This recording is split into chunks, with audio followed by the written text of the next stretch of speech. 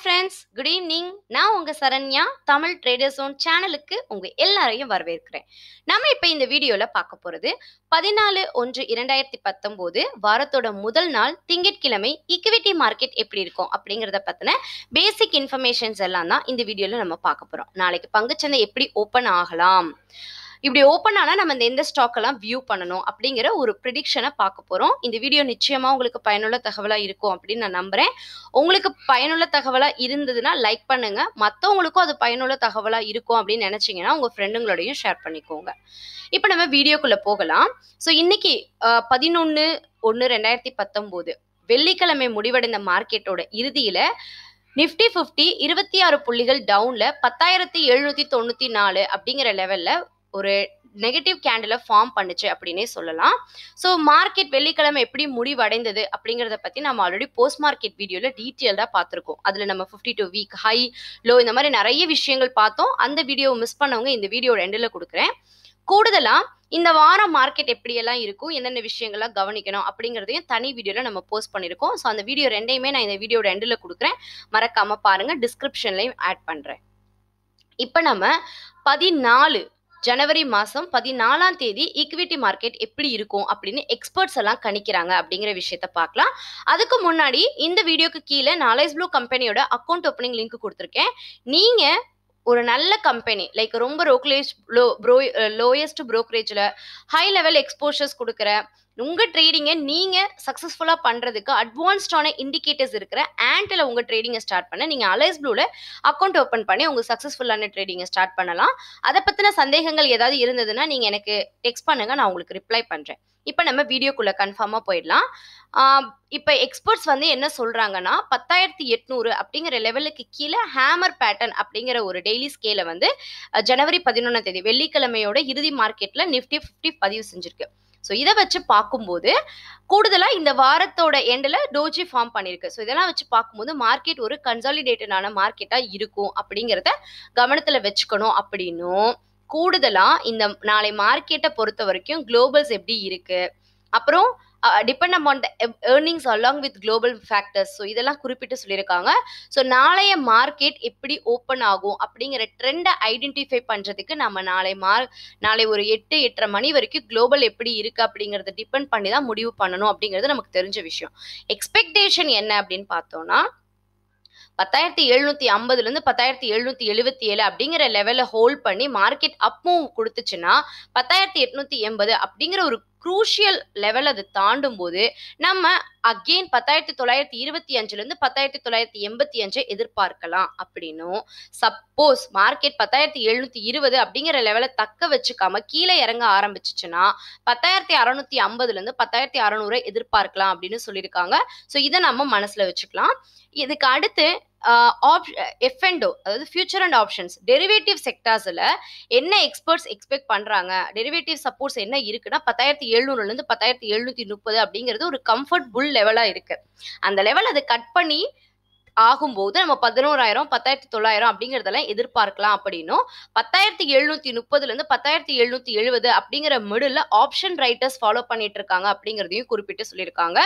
Future and ஆப்ஷன்ஸை பற்றி தெரியாதவங்க நாளையிலிருந்து நம்ம பேசிக் பிகினர்ஸ் வீடியோஸில் ஃபியூச்சர்ஸை பற்றி தான் பார்க்க போகிறோம் அது நிச்சயம் உங்களுக்கு பயனுள்ள தகவலாக இருக்கும்.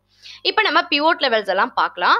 ஸோ பத்தாயிரத்தி எழுநூற்றி தொண்ணூற்றி நாலு அப்படிங்கிற லெவலில் நிஃப்டி ஃபிஃப்டி க்ளோஸ் ஆயிருக்கு. அதை பேஸ் பண்ணி நம்ம பிவோட் லெவல்ஸ் கணிச்சோம்னா பத்தாயிரத்தி எழுநூற்றி முப்பத்தி எட்டு அப்படிங்கிறது ஒரு சப்போர்ட் அந்த சப்போர்ட்டை கட் பண்ணுச்சுன்னா பத்தாயிரத்தி அறநூற்றி எண்பத்தி மூணு தேர்ட் சப்போர்ட் பத்தாயிரத்தி ஐநூற்றி எழுபத்தி ரெண்டு. ரெசிஸ்டன்ஸ் பத்தாயிரத்தி எட்நூத்தி நாற்பத்தி ஒன்பது செகண்ட் ரெசிஸ்டன்ஸ் பத்தாயிரத்தி தொள்ளாயிரத்தி அஞ்சு தேர்ட் ரெசிஸ்டன்ஸ் பதினோராயிரத்தி பதினாறு. பேங்க் நிஃப்டியை பொறுத்த வரைக்கும் இருபத்தி ஏழாயிரத்தி அறநூத்தி ரெண்டு அப்படிங்கிற லெவல்ல ஓப்பன் ஆகி இருபத்தி ஏழாயிரத்தி அறநூத்தி பன்னெண்டு வரைக்கும் ஹை போயிருந்தாலும் இருபத்தி ஏழாயிரத்தி முன்னூத்தி எண்பத்தி ரெண்டு அப்படிங்கிற லோவை பிரேக் பண்ணாம இருபத்தி ஏழாயிரத்தி நானூத்தி ஐம்பத்தி மூணு அப்படிங்கிற லெவல்ல க்ளோஸ் ஆயிருக்கு.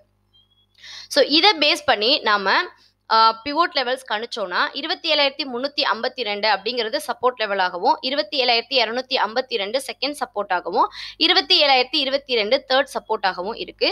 ரெசிஸ்டன்ஸ் இருபத்தி ஏழாயிரத்தி ஐநூற்றி எண்பத்தி ரெண்டு அப்படிங்கிற லெவலுக்கு மேலே இருக்கு. இருபத்தி ஏழாயிரத்தி எழுநூற்றி பன்னெண்டு செகண்ட் ரெசிஸ்டன்ஸ் ஆகவும் இருபத்தி ஏழாயிரத்தி தொள்ளாயிரத்தி நாற்பத்தி ரெண்டு அப்படிங்கிறது தேர்ட் ரெசிஸ்டன்ஸ் ஆகவும் இருக்கு. அடுத்தது எஃப்ஐஐ அண்ட் டிஐஐ டேட்டாவை பொறுத்த வரைக்கும் பதினொன்றாம் தேதியோட இறுதி முடிவில் அறுநூத்தி எண்பத்தி ஏழு கோடி நெட்டாக சேல் பண்ணியிருக்காங்க ஃபாரின் இன்வெஸ்டர்ஸ் அதே மாதிரி டொமஸ்டிக் இன்வெஸ்டர்ஸ் நூற்றி இருபத்தி மூணு கோடிக்கு மேலே பர்ச்சேஸ் பண்ணியிருக்காங்க. ஸோ இதெல்லாம் நம்ம ஏன் டெய்லி வாட்ச் பண்ணுறோம் அப்படிங்கிறத நான் தனித்தனியாக ஒரு வீடியோவில் எக்ஸ்பிளைன் பண்ணியிருக்கேன். அதெல்லாம் நீங்கள் பிளேலிஸ்ட்டில் போய் ஈக்குவிட்டிங்கிறதுல ஃபோல்டரில் செக் பண்ணிங்கன்னா உங்களுக்கு இன்னும் டீட்டெயில்டாக தெரியும் புதுசாக பார்க்குறவங்களுக்கு அடுத்தது நம்ம இன்ட்ராடே ஸ்டாக்ஸில் கவனிக்க வேண்டிய பங்குகள் அதாவது வெள்ளிக்கிழமையோட ட்ரேடிங் முடிவடைந்ததை வச்சு இந்த பங்குகள் எல்லாம் வந்து நம்ம கவனிக்கலாம் அப்படின்னு சொல்லி நம்ம பார்த்துட்டு இருக்கோம் அந்த விதத்தில் ஹை டெலிவரி பர்சன்டேஜில் கோட்ரேஜின் NTPC Britannia Ramco cement Marico Hindustan Unilever Godrej CP Shree cement Adani ports Petronet இதெல்லாம் ஹை டெலிவரி பர்சன்டேஜில் கவனிக்க வேண்டிய பங்குகளாக இருக்குது இருபத்தி அஞ்சு ஸ்டாக்ஸ் லாங் பில்டப் அதில் கவனிக்க வேண்டிய பங்குகள் ICICI potential life Torrent pharma Mindtree Muthoot finance Godfrey Phillips KPIT NHPC Escorts Manappuram Kotak bank நாற்பத்தெட்டு ஸ்டாக் ஷார்ட் கவரிங்கில் இருக்கு. அதில் கவனிக்க வேண்டிய பங்குகள் CESC Apollo hospital NMDC Indian bank IGL ACC IOC Kotak bank Berger paint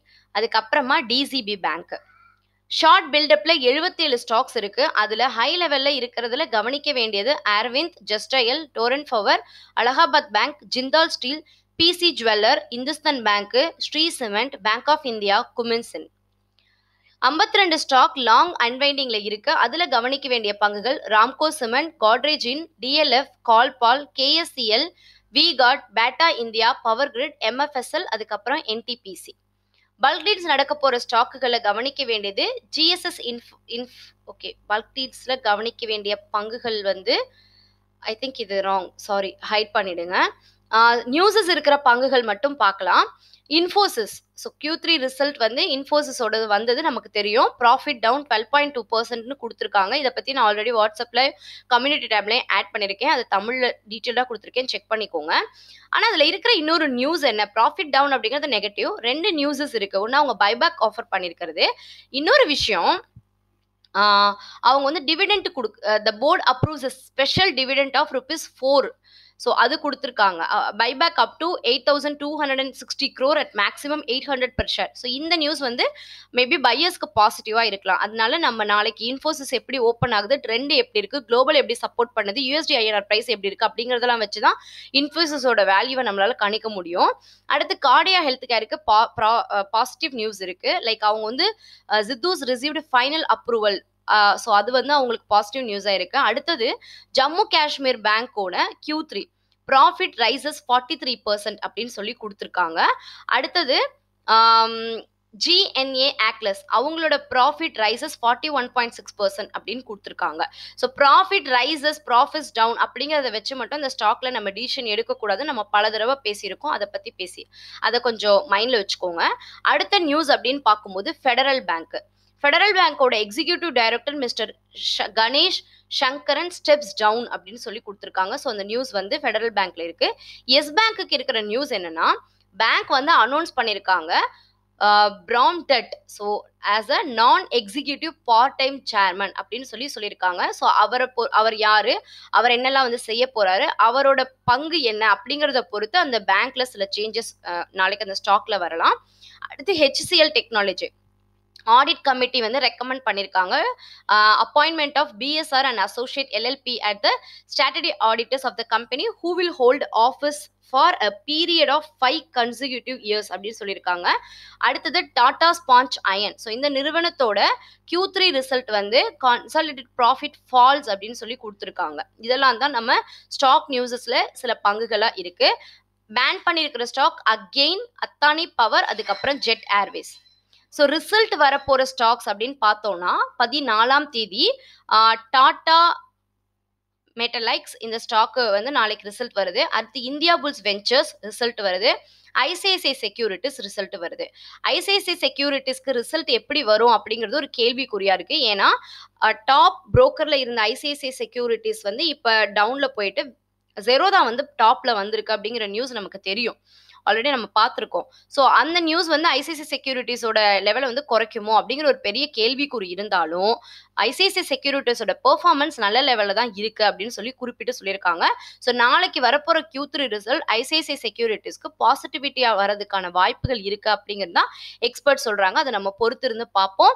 so risk எடுக்கணும் கூடாது அப்படின்னு நினைக்கிறவங்க ரிசல்ட்ஸ் இருக்கிற ஸ்டாக் வந்து பார்க்க வேணாம். ஆனால் நீங்கள் மானிட்டர் பண்ணி லேர்ன் பண்ணிக்கோங்க. நியூஸ் எப்படி வருது? ரிசல்ட் எப்படி வருது.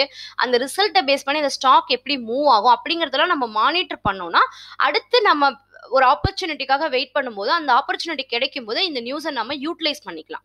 ஸோ தெரியல. நான் அதுல தலையிட போறது கிடையாது. அப்புறம் ஏன் நான் அதுல பார்க்கணும்லாம் யோசிக்காதீங்க. நல்லா லேர்ன் பண்ணிக்கோங்க. அப்ப அது ஆனா ஐசிஐசிஐ செக்யூரிட்டிஸ்க்கு பாசிட்டிவ் நியூஸ் இருக்கு. அதனால அதை பேஸ் பண்ணி அதுல சில சேஞ்சஸ்லாம் வரலாம். அதை நம்ம மைண்ட்ல வச்சுக்கலாம். அடுத்தது பார்த்தீங்கன்னா பிரகாஷ் இன் அதுக்கப்புறமா வந்து இந்த பங்குகளுக்கு எல்லாமே வந்து ரிசல்ட்ஸ் வருது. கார்ப்பரேட் ஹோம் நம்ம வீக்லி வீக்லி பார்த்துக்கலாம்னு சொல்லியிருந்தேன். இதை நான் ஆல்ரெடி வந்து வீக் எப்படி இருக்குன்ற வீடியோலயே சொல்லிட்டு இருந்தாலும் இன்னொரு தடவை சொல்லிடுறேன். குஜராத் கேஸ் லிமிட்டெடுக்கு ஸ்பிளிட் வேல்யூ நடக்குது. பத்து ரூபா இருந்து ரெண் ரெண் ரெண்டு ரூபாய்க்கு வந்து ஃபேஸ் வேல்யூ ஸ்ப்ளிட் பண்றாங்க. ஸோ இது வந்து பதினஞ்சாம் தேதி ஜனவரி அன்னைக்கு டூ தௌ எக்ஸ்பைரி டேட்டு ரெக்கார்ட் டேட்டு பதினெட்டு பதினாறு. இது நிறைய சப்ஸ்கிரைபர்ஸ் டவுட்ஸ் கேட்குறீங்க ரெக்கார்ட் டேட்டு பதினாறாம் தேதி உங்களோட டிபி அக்கௌண்ட்ல அந்த பங்கு இருக்கணும். அப்போ நீங்கள் பதிமூணு பதினாலாம் தேதி அந்த ஸ்டாக்கை பை பண்ணீங்கன்னா பதினாறாம் தேதி உங்களோட ட்ரேடிங் அக்கௌண்ட்ல இருக்கணும். ஸோ அது அந்த டைம்ல இருந்தால் மட்டும்தான் அந்த ஸ்பிளிட் உங்களுக்கு நடக்கும். அட் த சேம் அந்த அந்த என்ன கார்ப்பரேட் ஆக்ஷன் இருக்கோ அது உங்களுக்கு அப்ளிகபிள் ஆகும். பதினேழாம் தேதி நீங்கள் செல் பண்ணிக்கலாம். பதினாறாம் தேதி இருந்தால் கம்பல்சரி உங்களுக்கு அது அந்த ரெக்கார்ட் டேட் அன்னைக்கு உங்க டிபி அக்கௌண்ட்ல இருக்கணும். அதுதான் மேண்டட்டரி அது ஐ திங்க் அந்த டவுட் கேட்ட நிறைய பேத்துக்கு இது தெளிவான விளக்கமா இருக்கும். உங்களுக்கு அது தெளிவான விளக்கமா இருந்ததுன்னா கீழே கமெண்ட்ல சொல்லுங்க. உங்களுக்கு இல்ல எனக்கு புரியல நீங்க இன்னும் தெளிவா சொல்லுங்க. சொன்னீங்கன்னா நான் தனியா ஒரு வீடியோ போடுறேன். அடுத்து Tata consultancy services interim dividend கொடுக்குறாங்க. அது வந்து உங்களுக்கு பதினேழாம் தேதி வந்து எக்ஸ்பைரி ஆகுது. பதினெட்டாம் தேதி அன்னைக்கு அந்த ஸ்டாக் உங்ககிட்ட இருந்ததுன்னா உங்களுக்கு டிவிடெண்ட் கிடைக்கும். அடுத்தது என்எம்டிசி லிமிடெட் இதை நான் ஓப்பன் பண்ணி கூட காட்டுறேன். இன்னும் டீட்டெயில்டாக டாடா கன்சல்டன்சி சர்வீசஸோட டிவிடெண்ட் என்ன அப்படிங்கிறத நம்ம இங்கே தெளிவாக பார்க்கலாம். டாடா டிசிஎஸ் கம்பெனி என்ன சொல்லியிருக்காங்க அப்படின்னு பார்த்தோம்னா டிவிடெண்ட் கொடுக்குறாங்க. என்ன அப்படின்னு எ- பதினேழாம் தேதி ஜனவரி ரெண்டாயிரத்தி பத்தொம்போது டிவிடெண்ட் கொடுக்கறதா தான் இன்ஃபார்ம் பண்ணியிருக்காங்க. ஸோ அது என்ன ஏது அப்படிங்கிறத நம்ம தனியாகவே பார்த்துக்கலாம். அடுத்து என்எம்டிசி லிமிடெட் பைபேக்கு பதினெட்டாம் தேதி பதினெட்டாம் தேதி நமக்கு என்ன கிழமை வருது? வெள்ளிக்கிழமை அன்னைக்கு பைபேக் இருக்கு. ஸோ பைபேக்கை பற்றி நிறைய சப்ஸ்கிரைபர்ஸ் டவுட் கேட்டிருந்தீங்க. நான் தனியாக ஒரு வீடியோ போடுறேன். பைபேக்னா என்ன? அதுக்கு என்ன ப்ரொசீஜர் அதை ஃபார்மால் எப்படி அப்ளை பண்ணணும்? பைபேக் இருக்கிற ஸ்டாக்ஸ் எப்படி ஐடென்டிஃபை பண்ணணும்? இதுக்கெல்லாம் நான் கண்டிப்பாக தனியாக ஒரு வீடியோ போடுறேன். அது உங்களுக்கு பயனுள்ள தகவலாக இருக்கும். ஸோ இன்னைக்கு நம்ம பேசிக்காக பார்க்க வேண்டிய விஷயங்கள் அடுத்து குளோபல் எப்படி இருக்குது அப்படிங்கிறது தான். ஐ திங்க் நம்மளால் டென் மினிட்ஸில் ஒரு வீடியோ கம்ப்ளீட் பண்ண முடியாதுன்னு நினைக்கிறேன். பிகாஸ் சப்ஸ்கிரைபர்ஸ் கேட்குற ஒவ்வொரு கொயரிஸ்க்கும் நம்ம எக்ஸ்பிளைன் பண்ணுறது it is taking time maximum நான் நெக்ஸ்ட் வீடியோவில் இருந்து கம்மி பண்ணிக்க ட்ரை பண்ணுறேன் இப்போ நம்ம வந்து யூஎஸ் மார்க்கெட் ஃபஸ்ட்டு நம்ம யூஎஸ்டி ஐஎன்ஆர் அப்புறம் யூஎஸ் மார்க்கெட் குளோபல்லாம் எப்படி இருக்குது அப்படிங்கிற ஒரு டிசிஷன் எடுப்போம். ஸோ இதெல்லாம் வந்து ஒரு ப்ரெடிக்ஷன் தான். நாளைக்கு இப்- இப்படி இருக்கு தற்சமயம் நாளைக்கு இது கண்டினியூ ஆச்சுன்னா இப்படி நடக்கலாம் அப்படிங்கிறத தான் நாம் வந்து சொல்ல போகிறோம் ஓகேங்களா? ஓகே. ஃபஸ்ட்டு நம்ம குளோபல் செக் பண்ணிடலாம். Global market okay. Okay. First USD பார்த்துடலாம். யூஎஸ்டி ஐஎன்ஆரோட ப்ரைஸ் பார்த்தீங்கன்னா எழுபது ரூபா நாற்பத்தொம்பது பைசா. அதாவது எண்பத்தி ஆறு காசுகள் உயர்ந்து இருக்குது அடுத்து குளோபல் மார்க்கெட் சம்டைம்ஸ் இது வந்து லோட் ஆகாது. அதனால நம்ம நாளைக்கு காலையில் செக் பண்ணிக்கலாம். இல்லை ஏதாவது ஓகே லோட் ஆயிடுச்சு. குளோபல் மார்க்கெட் தற்சமயம் யூஎஸ் மார்க்கெட் பதினாலு புள்ளிகள் டவுன்ல இருக்கு. யூரோப்பியன் மார்க்கெட் இருபத்தி நாலு புள்ளிகள் டவுன்ல எஃப்டிஎஸ்சி இருக்கு. சிஎஸ்சி இருபத்தி நாலு புள்ளிகள் டவுன்ல இருக்கு. டாக்ஸ் முப்பத்தி நாலு புள்ளிகள் டவுன்ல இருக்கு. ஏஷியன் மார்க்கெட் கம்ப்ளீட்டா பாசிட்டிவா இருக்கு அப்படின்னே சொல்லலாம். ஆனா குளோபல்ல யூஎஸும் யூரோப்பியனும் டவுன்ல இருக்கு. ஸோ குளோபல் ஏஷியன் பாசிட்டிவாக இருக்கிறதுனால இந்த நிலை காலை வரைக்கும் தொடர்ந்துச்சுன்னா எஸ்டிஎக்ஸ் நிஃப்டி நமக்கு ஒரு பாசிட்டிவாக இருந்ததுன்னா நம்மளுடைய பங்குச்சந்தையும் பாசிட்டிவிட்டியாக ஓப்பன் பண்ணுறதுக்கான ஓப்பன் ஆகிறதுக்கான வாய்ப்புகள் அதிகமாக இருக்கு. க்ரூட் ஆயிலோட ப்ரைஸ் பார்க்கலாம். எண்பத்தி ஒன்பது பைசா இறங்கி ஐம்பத்தி ஒரு ரூபாய் எழுபது பைசால இருக்கு. கிட்டத்தட்ட ஒன் பாயிண்ட் ஃபைவ் ஜீரோ பர்சன்டேஜ்க்கு மேல டவுன்ல இருக்கு. ஸோ இதுவும் நமக்கு பாசிட்டிவா இருக்கு. அடுத்து யூஎஸ்டி ஐஎன்ஆர் பிரைஸ் எண்பத்தாறு காசு ஏறி இருக்கு. ஸோ காலையில ஒன்பது ஒரு எயிட் தேர்ட்டி போல நிலைகள் எப்படி இருக்கு? நிலைமைகள் எப்படி இருக்கு? நியூஸஸ் எப்படி இருக்கு? ஃபண்டமெண்டல்ஸ் எப்படி இருக்கு? அப்படிங்கறத வச்சு நாளை மார்க்கெட் எப்படி ஓப்பன் ஆகும் அப்படிங்கறத நம்ம ஒரு ட்ரெண்ட் எப்படி இருக்கும் அப்படிங்கிறத நம்ம ஐடென்டிஃபை பண்ணிக்கலாம்.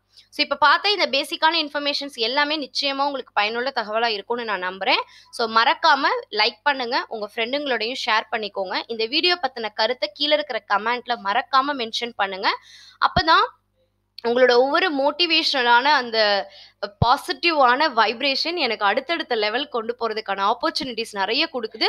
ஸோ உங்கள் கருத்தை தயவு செஞ்சு பகிர்ந்துக்கோங்க. அது நிச்சயமாக எனக்கு ரொம்ப வேல்யூபிளான இன்ஃபர்மேஷன்ஸாக இருக்கும். Thank you so much good night இந்த வாரம் உங்களுக்கு ஹாப்பியாக இருக்கட்டும். So happy Bogi happy Pongal. Enjoy the whole week ஹாப்பியாக ட்ரேட் பண்ணுங்கள் have a great day thank you